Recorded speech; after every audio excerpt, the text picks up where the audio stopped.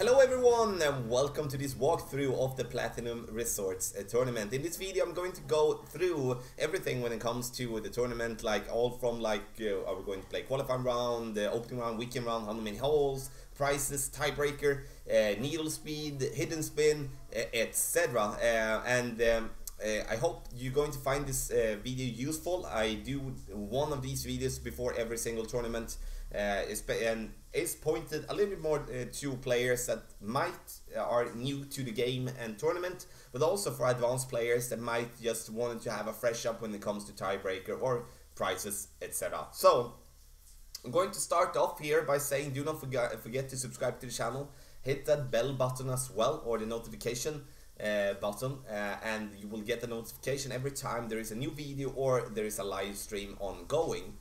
Um, Platinum Resort Tournament starts on Monday, uh, the 15th of, uh, of October. And uh, as normal, it starts on a Monday. We're going to start off with qualifier day number one. We do have three days where you can qualify. So it's either Monday, Tuesday, or Wednesday.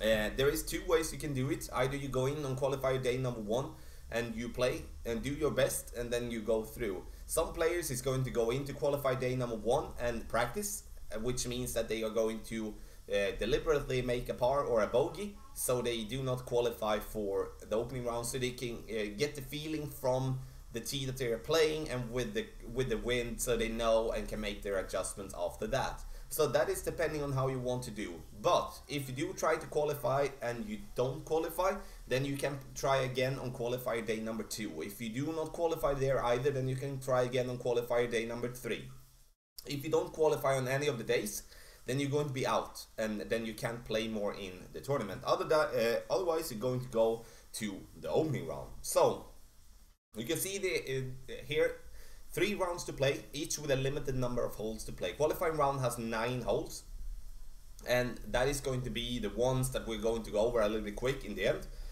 Then the opening round, we're going to have 18 holes. Weekend round, we're going to have 18 holes. Then you maybe wonder, okay, so we do get 9 new holes for the opening round or weekend round. No, we don't. We do get the same hole for the front 9 as we do have on the back 9. So you play every hole twice.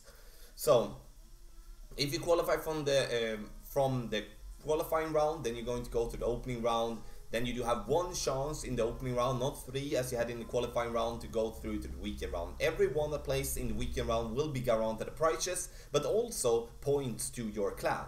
So opening round here, uh, it's the top 50 of 100 players that go uh, through to the weekend round. In the qualifying, it's the top 10 of 20 players that go through to the opening round. So Scoring is based on shots taken. The fewer uh, shots you complete your matches in, the higher you will rank. So, uh, if you played nine holes, both Tiffany and Seb, if you can see in the example, and you do get minus six uh, as Tiffany has, and your opponent gets minus five, then you are going to be the winner in that bracket. Uh, if uh, you and if you would be playing the shootout and you beat every opponent doesn't really matter because it, shootouts in the tournament do not count towards your score don't do a tommy and forfeit before the tournament uh, before the regular hole has ended and reward yourself with a bogey um, yeah a little bit hilarious but also that's a way how to screw up your weekend round Prizes. Win prizes of chess, coins and balls. Prizes are awarded to players who reach the weekend round. Enter a higher level to win the biggest prizes.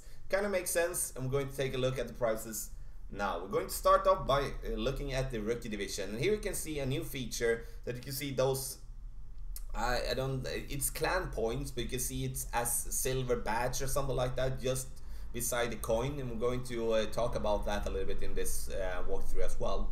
Entry fee 10,000 uh, you pay that one time. Uh, fee per game 1,000 winners per game 2,000 you only pay the entry fee for the qualifying round but if you don't qualify on day one and have to qualify day two, then you will have to pay a new entry fee. But if you qualify to the opening round, you do not pay an, pay an entry fee in the opening round either. So you can see the prices here. It's a lot of cards, a lot of balls, and then you do have the clan points and 300,000 coins. The clan points will be rewarded after the weekend round ended when you do get your prize chest. Then the higher up you place in the tournament, the more points you will get to your clan, which is definitely going to uh, be good. And you can see the lower you get in uh, the round here, the less you do get, of course. Uh, then we come to Pro. Uh, we do have entry fee 100,000 fee per game, 10,000 winnings per game, 20,000. You can see more cards, more balls, more points to the clan, and 3 million coins.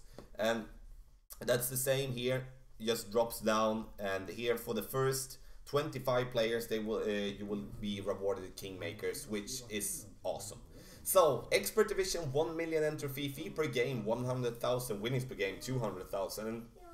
Here you can see a tremendous amount of coin, uh, uh, cards, balls, and also coins with also 30 million uh, coins. So there is a lot to find in these expert chests, uh, but the biggest difference is to master. Uh, but the points here, uh, it's going to help your clan big time. We come to master here, and here you can see entry fee of 10 million coins. The fee per game 1 million, winnings per game 2 million. And here on this division is where the best players in the world do play.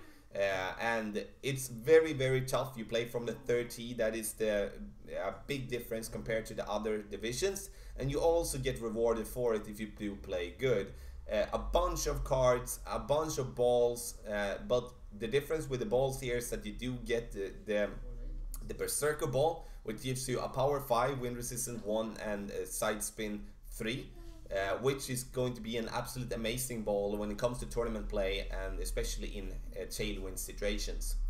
Look at the clan points, it's like almost 12,000 points for win in Master.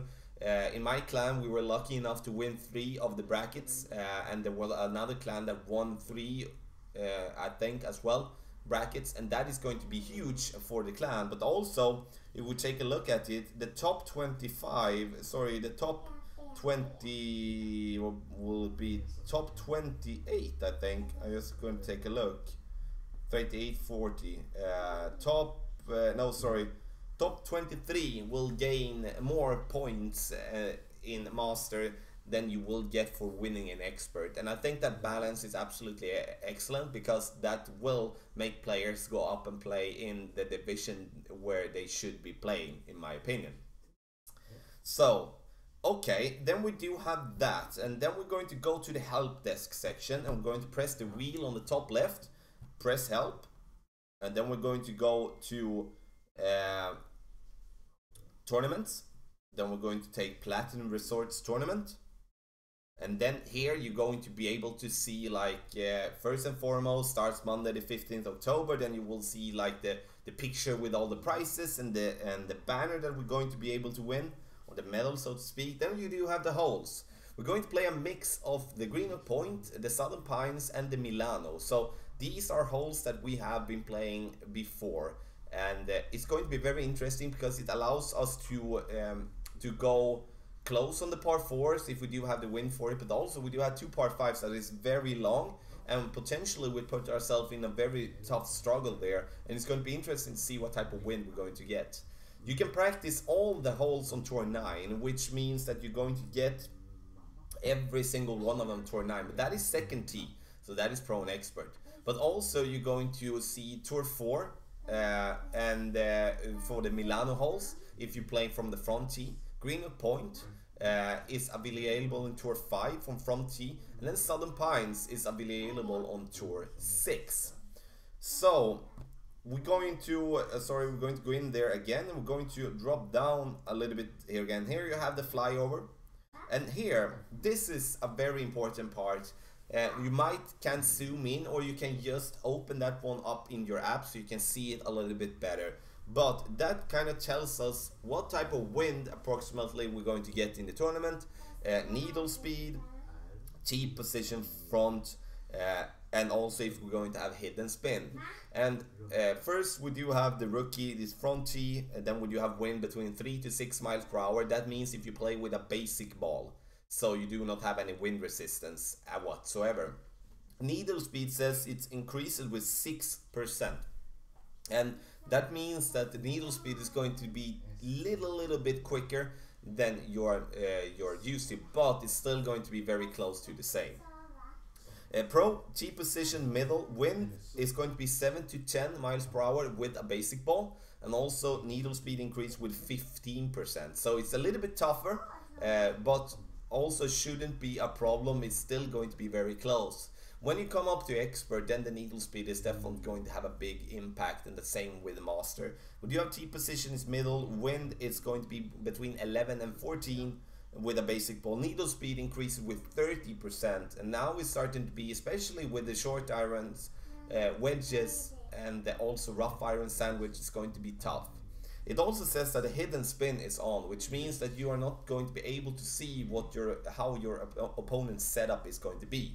So when you open up, uh, your opponent open up and see that ball you normally see the spin adjustment on, then that is going to be blurred. So you're go not going to be able to see that. I think that is excellent. People can't copy a shot. Uh, tee position is going to be a 30 for master, and then we do have wind from 16 to 19 with a basic ball. Uh, needle speed is going to be plus 50% uh, and that is going to be tough especially if you're used to a lower needle speed. To get that in that is not going to just be something you can do like that. Uh, hidden spin on uh, uh hidden spin is on uh, which means that we can't see the adjustment there either.